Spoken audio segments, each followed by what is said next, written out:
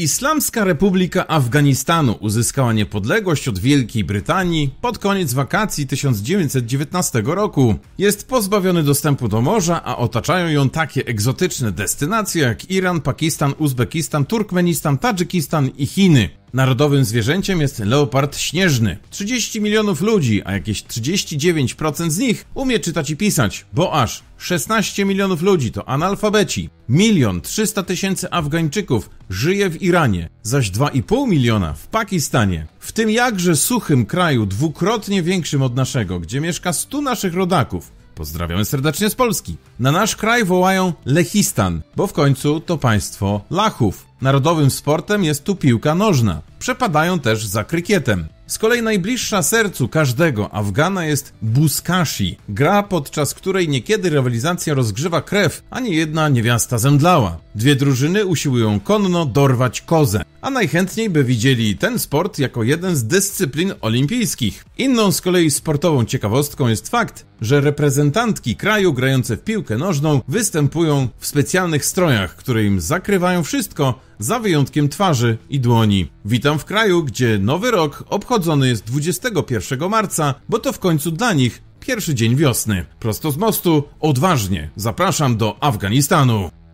Kraj jest zdominowany przez islam i to w 98%. Na jakieś powiedzmy 200 państw na świecie, to obywatele Afganistanu mogą podróżować bezproblemowo zaledwie do 28. Tutaj średnio pali się papierosa raz na 6 dni. Najwięcej ludzi w Afganistanie obchodzi urodziny 1 stycznia. Spowodowane jest to tym, że wielu Afgańczyków nie zna swojej daty urodzenia i wybiera pierwszy dzień roku. Nie wiem, czy kojarzycie swego czasu raczej najbardziej znana okładka National Geographic z 1985 roku, kiedy na niej widać było afgańską kobietę z niepowtarzalnym spojrzeniem. To co ciekawe, to właśnie tę kobietę namierzono w 2002 roku i powiedziała, że nie miała pojęcia o tym, że jej zdjęcie jest tak znane. Paradoksalnie, w starożytności tereny Afganistanu były centralnym punktem jedwabnego szlaku, a dopiero w 2010 roku rozpoczęto budowę sieci kolejowej. Doczekali się 85 km torów kolejowych. Nie mają jeszcze specjalnie pociągów pasażerskich, a jedynie występują dwa połączenia kolejowe. Za to popularne autobusy to przede wszystkim starsze modele Mercedes-Benz. A co ciekawe, niezgodne z prawem jest importowanie do kraju samochodów starszych niż dziesięcioletnie.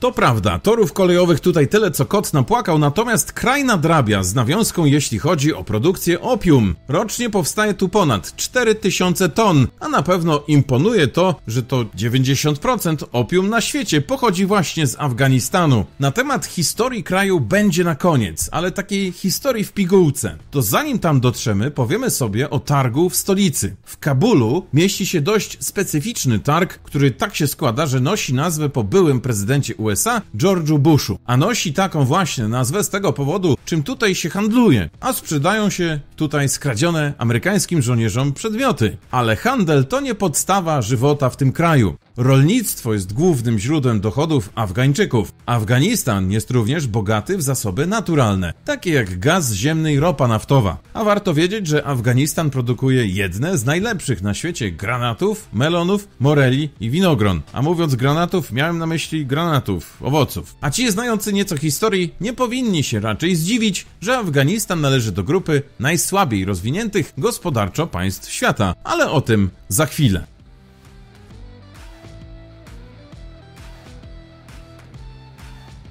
Jest to jeden z najbiedniejszych krajów na świecie. Na samo dno doprowadziły go długoletnie wojny i prawie zupełny brak inwestycji zagranicznych. Jest tutaj najwięcej na świecie znanych organizacji terrorystycznych. Nie ma co się dziwić, że budownictwo jest tutaj jedną z wiodących gałęzi przemysłu tego kraju. Warto podkreślić, że to nie jest kraj dla starych ludzi. Kobiety mogą brać ślub w wieku lat 16, a mężczyźni 18. Statystycznie po 4 latach rodzi im się pierwsze ze statystycznych pięciorga dzieci. Zatem nie powinno dziwić, że średnia wieku tutaj to lat 18. Rodzina jest ważna w kulturze afgańskiej. Mężczyźni są odpowiedzialni za zarobki, a kobiety zostają w domu i służą rodzinie. Ale bywają ci postępowi, tylko że dość rzadko. W większości przypadków rodzina mieszka razem. Po ślubie syn i jego małżonka mieszkają w osobnym pokoju. Kobiety mają w obowiązku ubierać się skromnie, ale na tyle, żeby nie pokazywać swoich wdzięków. Sukienka z zachodu tutaj jest tak popularna jak Tomasz Lis w jedynce czy w dwójce. W tym kraju unika się bezpośredniego kontaktu wzrokowego między mężczyznami i kobietami. Uścisk dłoni jakoś ujdzie. Natomiast niektórzy praktykują kładzenie ręki na sercu, aby okazać szacunek i aprobatę drugiej osobie. Ale ponownie, nie między kobietą i mężczyzną.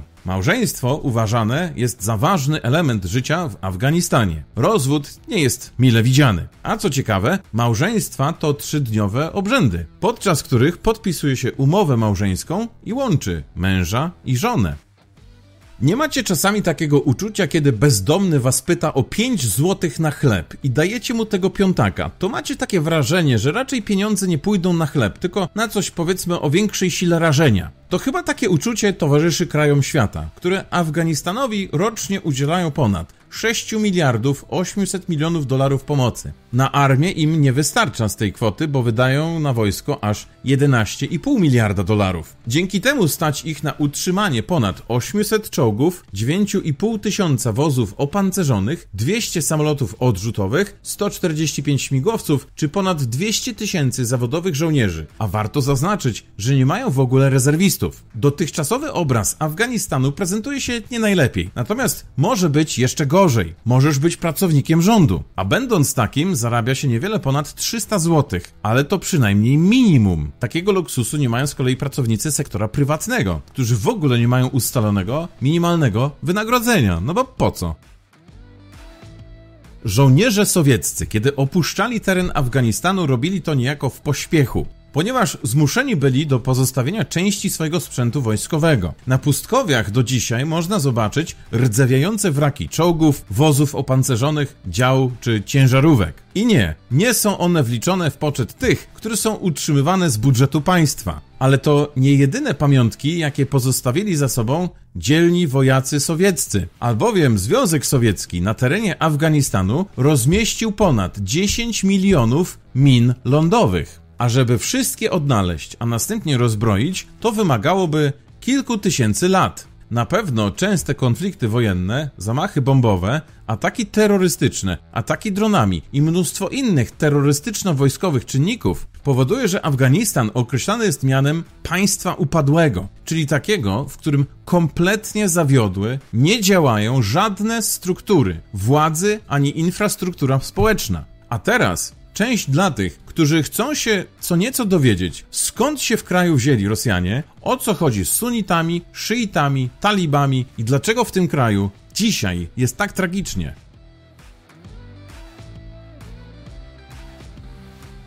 Terenami Afganistanu od zawsze interesowały się Wielka Brytania i Rosja. W dwudziestoleciu międzywojennym zamach stanu pozwala ludowo-demokratycznej partii przejąć władzę. Choć nie cieszyła się powszechnym uznaniem, rozpoczęła reformy, żeby poustawiać wszystko tak, jak to miał poukładany Związek Sowiecki. Niektórym się to nie podobało. Policja zaczęła tłumić protesty, ale tej nie wystarczyło, żeby wszelki opór zdławić. Obywatele powiedzieli wielkie nie z Koranem w ręku, ale komuniści, łamiąc całkiem sporo podstawowych praw człowieka, dużą ilością ofiar, bunt zdławili. Potem nowo wybrany komunistyczny prezydent, który zaprosił KGB, żeby ten wprowadził na teren kraju jeszcze więcej komunizmu, no to tuż przed Sylwestrem 1979 roku prezydent, co ciekawe, zginął, ale z rąk sowieckich komandosów, poprzebieranych za afgańskich żołnierzy. To wystarczyło, by wylądowało 200 sowieckich samolotów wraz z pancernymi oddziałami lądowymi. To się nie spodobało w Ameryce. ONZ powiedziało, żeby się Sowieci Sowieci wynieśli, a Amerykanie zagrozili, że jeśli się Rosjanie szybko nie wycofają, to nakręcą trzecią część Rambo. Moskwa była głucha na wszelką argumentację, w tym samym czasie sami Afgańczycy powiedzieli, że mają dość. I albo zaczęli kultywować sztukę walki partyzanckiej, albo się wyprowadzili. Dlatego 3 miliony ludzi wyemigrowało do Pakistanu, a 2 miliony do Iranu, gdzie organizowali opozycję. W latach 80. XX wieku niemal 85% kraju było w rękach partyzantów, a nad resztą tutejszy rząd komunistyczny roztoczył swoją czułą opiekę. Michał Gorbaczow doprowadził do zmiany prezydenta, który wprowadził nową konstytucję, która z kolei orzekła, że islam jest religią narodową. Pod koniec tych lat 80. wojska sowieckie wycofały się z kraju, ale to nie załatwiło tematu zakończenia wojny. U sterów pozostali komuniści, którzy kruszeli pod naporem rebeliantów. Ci dzielili się na sunnitów, których było więcej, oraz szyitów, których było mniej. Sunnici to dłuższa czy większa, umówmy się, nazwa, więc łatwiej zapamiętać. W każdym razie, sunnici reprezentują większość ludzi w Afganistanie. Jakieś 85% ludności właśnie ich popiera. Szyici z kolei są popierani przez zaledwie 15% społeczeństwa, ale to nie to poparcie jest ich siłą napędową, bo ich siłą napędową jest Iran. Dwie grupy, sunnitów i szyitów, kłócili się ze sobą i walczyli zaciekle. Ich awantury doprowadziły do powstania trzeciej siły między nimi, a byli to nam znani dzisiaj